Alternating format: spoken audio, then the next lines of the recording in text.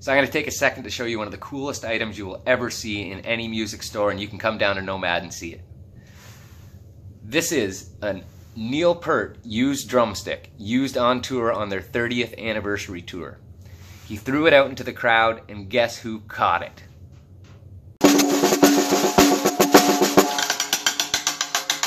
A guy that I know. In the middle of playing that awesome fill in Tom Sawyer, doing his Neil thing, he whips a stick out into the crowd. And it's like slow motion. It's all. And you gotta imagine there's a lot of other nerdy Rush guys who want this drumstick. And there's Neil Peart DNA in there. What if we made our own Neil Peart? Everybody's all spinning their drumsticks and playing Tom Sawyer.